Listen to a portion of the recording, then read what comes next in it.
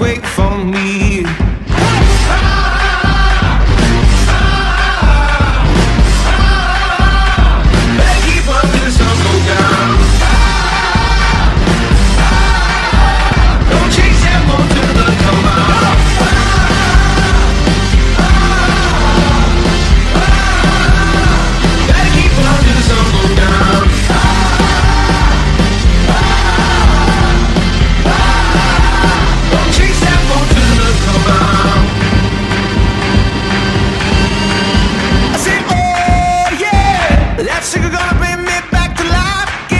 Some of that apple pie.